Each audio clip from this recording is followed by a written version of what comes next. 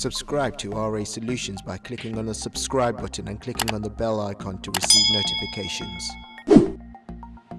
Hello there, welcome to another video about RA Solutions. In this video what I'm going to be doing is showing you a quick way to screen record in Windows 10 using shortcut keys Windows Alt and R. So on your keyboard, if you press Windows Alt and R at the same time, it will enable the screen recording function in Windows 10. So if you've got a Windows 10 machine, this will work on any Windows 10 machine. If you if you press on Windows Alt and R at the same time, it will enable the screen recording functionality. You can see the screen recording has been enabled here. Now, obviously, the purpose behind this is you can show somebody a video tutorial like I do my YouTube channels and in here you can show somebody how to uh, do a specific task in your Windows machine. So here I've, I've, just shown you an example how to search for RA solutions. Check out my previous video showing you how to enable and disable safe search in uh, Google Chrome. So obviously click on here, you can hide your explicit results or whatever tutorial you're showing somebody, you can do that in Windows 10.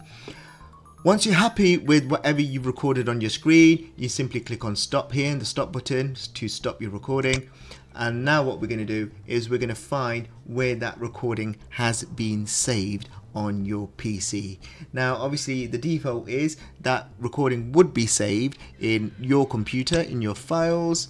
Um, so if you go into your PC options here so if you go into files here on the right side you see the videos option in your folders in there there is another folder within that called captures and if you go in there you can see that file has been saved in there. So you can send that file on to somebody if you're helping them on to do a specific task or if you're creating YouTube videos like I am you can upload this edit it obviously for YouTube and then um, upload it onto YouTube to show that person what you've recorded there. So double click on it and it will show you the recording and what you are doing and what actions you are taking. So if I'm just forwarding that recording there.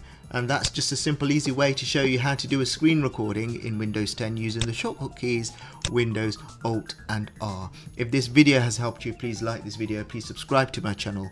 Take care of yourself and peace out